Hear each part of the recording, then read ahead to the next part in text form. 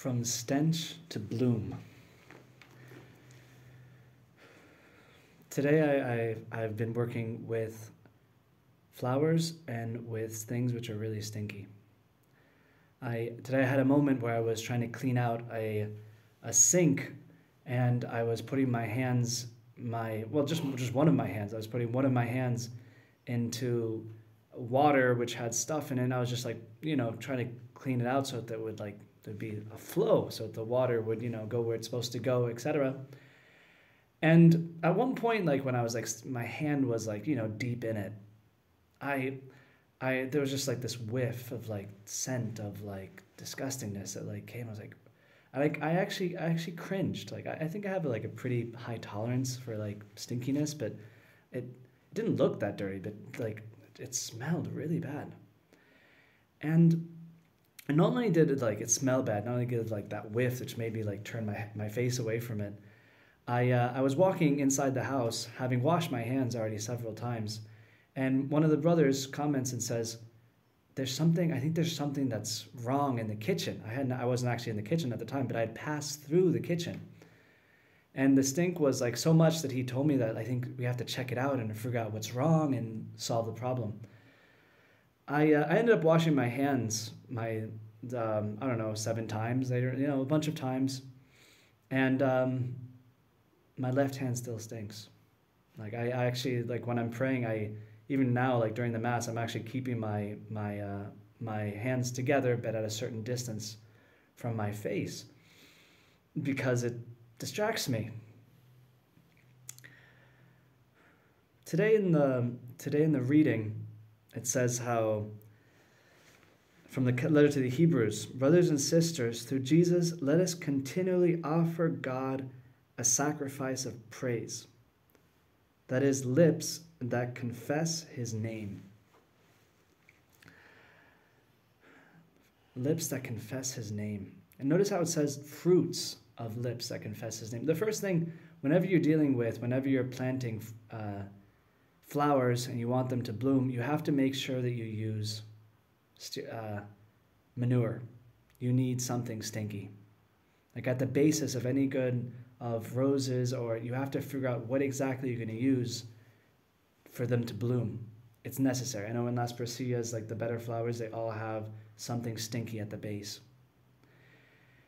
And the phrase here, it also says, I was looking at it and it says, the fruit of lips that confess his name. Uh, the word I want to harp on is the word confess. I was looking it up in, in the Greek, and it, it the word is homolog, homologia.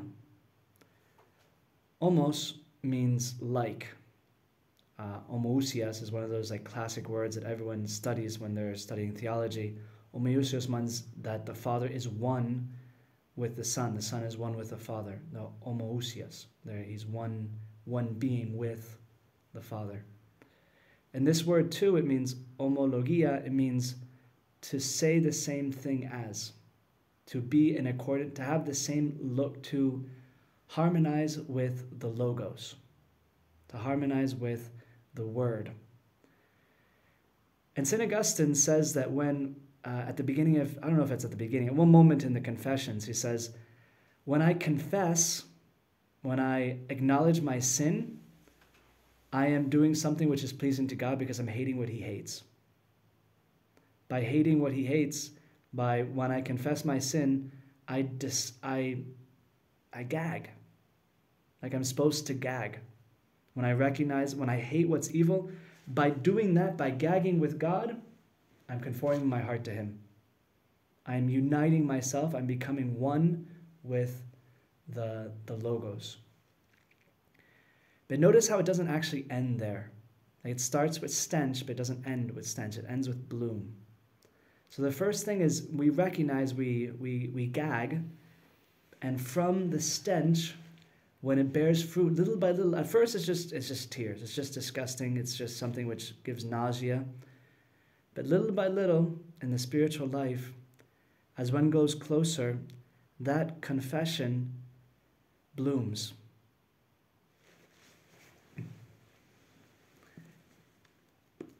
In the book of Sirach, there's a phrase in chapter 39 which says, Listen to me, O you holy sons, and bud like a rose growing by streams of water. In other words, let the confession, let it flow. What I was trying to solve today, why my hand got really stinky, is because I was trying to solve something that wasn't flowing, that wasn't going in the right direction, that was that was stagnant. Bud like a rose growing by stream of water. Send forth fragrance like frankincense. Frankincense is all the all the sacrifice in the temple. Even the bread had frankincense. It's supposed to. It's a symbol of the good smell of Christ. Maybe I need to put some like frankincense on my left hand. And put forth blossoms like a lily. Lily is the is of the flowers, like we actually have lilies in front of us, and of all the flowers, lily is a blossom which goes the, the greatest distance. It like spreads itself more than others. Scatter fragrance and sing a hymn of praise. You can see the link with this and the phrase. The author to the Hebrews might even have been thinking of this passage when he said these words.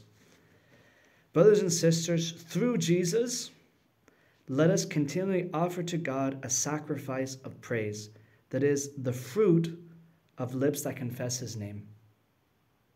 Notice how it says that confess his name, but in the, in the Greek, it could even be that confess to his name, that go to confession to a priest.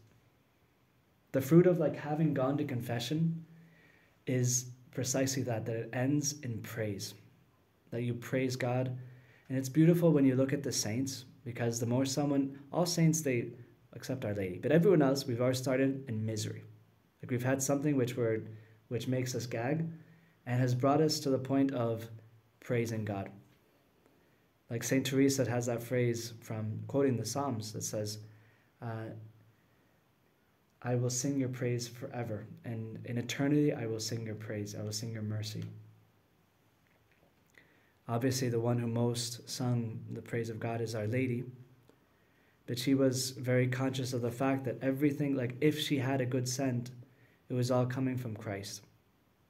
Like she praised, she praised the Father in the Son. Like she recognized that that was her spot, and that everything she had was all thanks to Him. Saint Teresa has a phrase which I'm sure Our Lady would have applied to herself, where she she says how. Uh,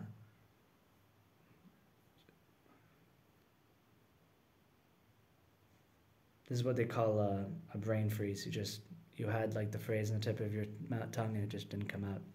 Anyway, there's a today we're actually celebrating the the votive mass of Our Lady Guadalupe. Today is not the 12th of December, but I think of Guadalupe as also how the Lord has used a uh, manure to become a song of praise. Like she actually appeared on a place was was Tecuatla which was um, her original title was Tecuatla which is "See who steps on the head of the serpent, who crushes the head of the serpent. And she appeared precisely in a place where they had done sacrifices of pregnant women, which was part of like the process of of of that barbarities. It was one of the many sacrifices which were being human sacrifices which were done in Mexico. And it's beautiful how the Lord permitted not only uh, that there be conversions there, but to be conversions be associated with flowers. In other words, precisely in a place where such hideousness had taken place, the Lord wanted there to be roses that were blooming, and that were part of the of the miracle of the tilma of Guadalupe and the 10 million conversions which happened afterwards. Imagine how much praise came out of it. So the Lord uses things uh, of, of evil and the evil of our life, He uses it to bring forth more praise. I, I have in, we have in front of us uh, Ian, a man who's also experienced a conversion, not linked with Guadalupe so much as with Garabandal. And today we're looking forward to, he's also going to uh, share with us, with the brothers, his, his story of, of 40 years of, of misery. And I'm sure that we're going to end the, the experience, the, the details with him praising God. Because in the end of the day, when one really looks at the misery of what one's come out of, it always ends in praise and a praise which which blooms.